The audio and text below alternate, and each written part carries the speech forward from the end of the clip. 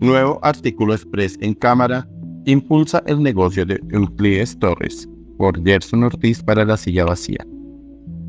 El proyecto de ley de movilidad que toca los intereses del negocio de trámites de tránsito que ha amasado el empresario Euclides Torres, presunto financiador de la campaña de Gustavo Petro, está a un paso de ser una realidad. Está a punto de surtir su último debate en la plenaria de la Cámara y a pesar del intenso escrutinio que ha generado, la última versión mantiene gabelas para el negocio de Torres. El proyecto se mete con el sistema de control y vigilancia SICOP. Es una herramienta que permite monitorear y registrar todas las operaciones que ejecuten empresas que emiten certificados para licencias de conducción, las que hacen técnico-mecánicas o las que enseñan a manejar un vehículo. Es un negocio que Torres maneja desde hace más de 10 años. Según cifras oficiales, desde su puesta en marcha, el SICOP ha recogido alrededor de 186 mil millones de pesos del bolsillo de los ciudadanos que pagan los trámites. Cada tanto a través de leyes que pasan de agache en el Congreso, al CICOP le añaden más beneficios. En esta legislatura el senador Pedro Flores, sobrino político de Euclides, y Dulce Torres, hermano, han sido claves para sacar adelante esta nueva ley, como reveló la silla vacía en esta investigación el proyecto llega vivo en medio de muchos ruidos. Hay afán de que ese proyecto se apruebe, aunque estaba en el punto 18 del orden del día de la plenaria de hoy una proposición de los representantes Octavio Cardona, del liberal, y Julio Roberto Salazar, conservador, lo subió al punto 3. Dos editores hizo parte de esa votación. Así, la iniciativa quedó lista para ser evacuada en el cuarto y último debate con dos nuevos beneficios para el poderoso Euclides Torres, que pagarán los ciudadanos. Los representantes que se hacen llamar la bancada independiente, entre los que están Catherine Miranda, Cristian Avendaño y Jennifer Pedraza, se percataron del cambio en medio de la plenaria.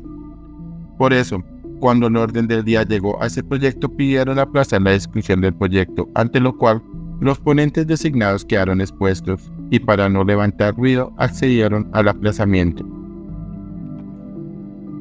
En la votación del aplazamiento, los sectores se hizo que leyera un impedimento para salirse del debate por los negocios que tiene su hermano en el sector.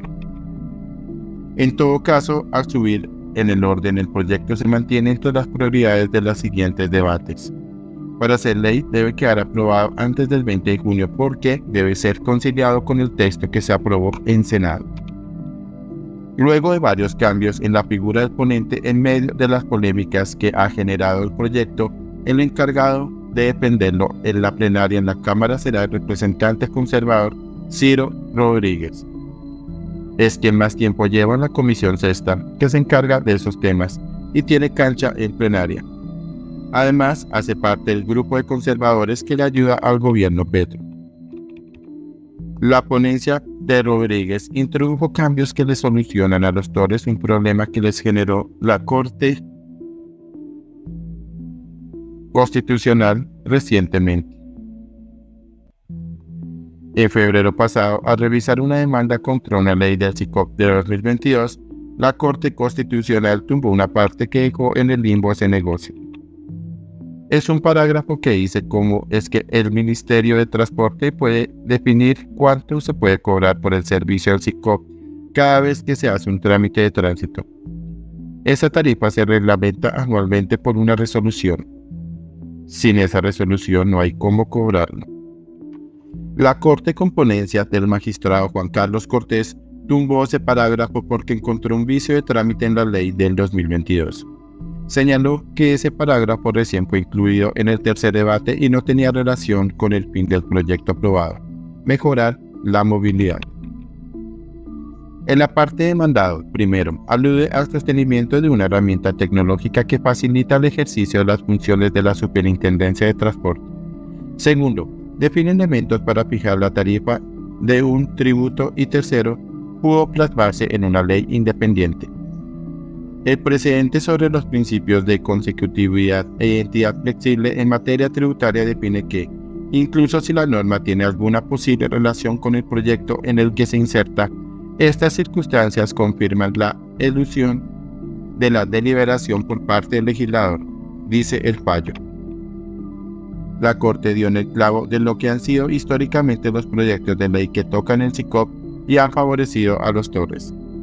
Se camuflan dentro de una iniciativa sobre movilidad que supuestamente busca bajar los índices de accidentes de tránsito, pero que al final terminan impactando el negocio montado alrededor del sistema. Aunque el magistrado Cortés dijo que la reglamentación de la tarifa del CICOP se debía regular en un proyecto de ley nuevo y con suficiente debate, la ponencia del representante Rodríguez busca solucionar ese vacío, aprovechando que el proyecto está a punto de ser aprobado. La tarifa señalada en el presente artículo será definida por el Ministerio de Transporte, fijada en salarios mínimos legales diarios vigentes y se calculará teniendo en cuenta varios criterios, dice en un artículo nuevo que entró en la ponencia del cuarto y último debate. Dice el ponente que el CICOT sí incluye en reducir índices de tránsito.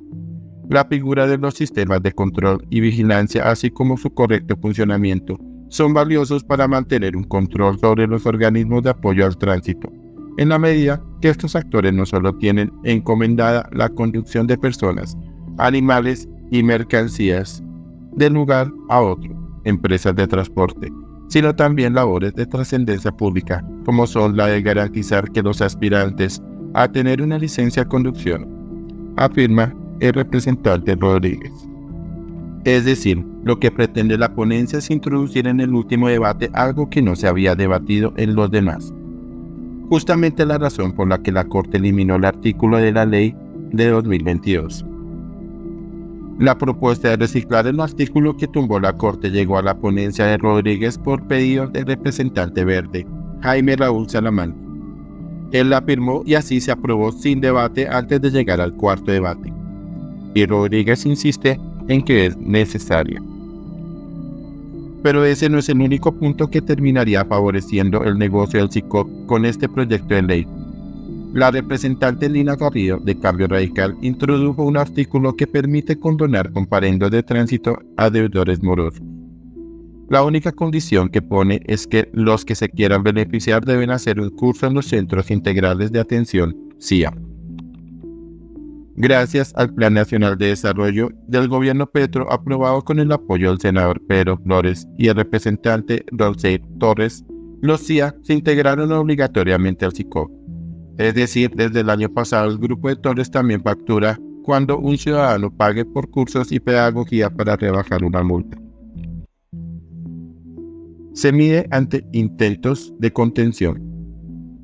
La huella del proyecto en todo caso lleva alertas el senador David Luna de Cambio Radical pidió archivarlo en el tercer debate en la Comisión Sexta, alegando beneficios particulares a los Torres. Para eso, entre otras cosas, citó la investigación de la silla. Luna va a insistir con la propuesta de archivo entre este último debate. Los congresistas del partido Mira, que habían sido coautores del proyecto original, pidieron retirar sus firmas.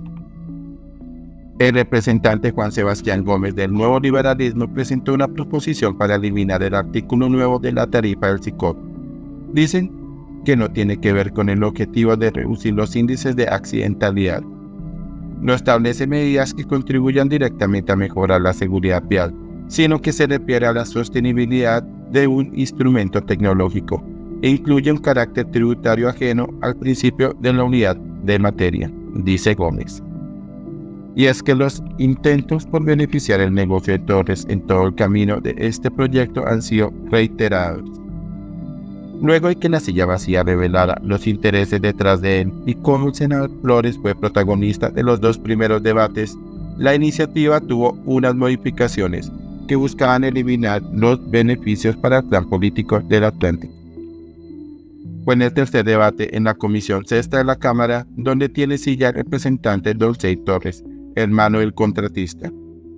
Ahí el ponente designado, el liberal Luis Carlos Ochoa, compañero de bancada de Dolce, metió dos cambios para contrarrestar las denuncias de un posible favorecimiento. Primero eliminó un artículo que decía que el CICOT se podía aplicar en trámites de otros medios de transporte, trenes, aviones, barcos, lo cual ampliaría el margen de negocio de los Torres. Pero luego metió un artículo que decía que el SICOP se podía aplicar a trámites de otros medios de transporte, trenes, aviones, barcos, lo cual ampliaría el margen de negocio de los Torres. Pero luego metió un artículo con el que creó una nueva gavela para el negocio de Torres. Es el artículo 15 y dice que la Superintendencia de Transportes no puede contratar la operación del SICOP a quien haya tenido relación con un organismo de tránsito. En lugar de despejar dudas, las intensificó. Resulta que una ley de 2020 autorizó a la Superintendencia de Transportes a contratar toda la operación del SICOP a través de una concesión a 10 años a un único operador. Un negocio que está estimado en unos 2,9 billones de pesos. La Super echó a robar ese proceso al año pasado con un estudio de mercado. La propuesta del artículo de Ochoa pidió modificar esa ley del 2020 para que esa contratación tuviera restricciones, según él, para brindar el proceso y hacerlo más transparente. Y así se aprobó. Sin embargo, la movida, en vez de calmar las aguas, generó más cuestionamientos por posibles favorecimientos. Este artículo, como está redactado, pretende que quien maneja el SICOP ahora no tenga posibles competidores. Es una vagabundería. Prácticamente le ordenamos a la superintendencia que le entreguemos ese negocio a alguien. Estamos armando un negocio a través de una pequeña ley, dijo el representante conservador Ape Cuello, quien fue el único que lanzó advertencias cuando se debatió en la Comisión Sexta. Las empresas de torres están operando el CICOP desde 2012 y son las que parten con ventaja en la eventual licitación, porque son las que más tienen experiencia y tienen todo el andamiaje de la operación andando. Con el artículo 15 cartelizaron ese negocio y por eso fueron investigadas por la Superintendencia de Industria y Comercio, SIC, quien les impuso medidas que las empresas de los torres han burlado. La Asociación Nacional de Industriales Andy también se quejó. El artículo 15 pretende intervenir en un proceso contractual para inhabilitar a las empresas que presten servicios o hayan prestado servicios a algún organismo de tránsito. Con esta norma se introduciría una inhabilidad específica que vendría a complementar o adicionar las inhabilidades e incompatibilidades generales de la Ley 80 de 1993, dijo en el concepto. A Ochoa le cayeron los reflectores encima y en diversas entrevistas en radio no supo cómo justificar el artículo aprobado. Curiosamente, días después fue removido de la ponencia del proyecto que estaba listo para el cuarto debate. Ahora las luces se ponen sobre Ciro Rodríguez, el nuevo ponente.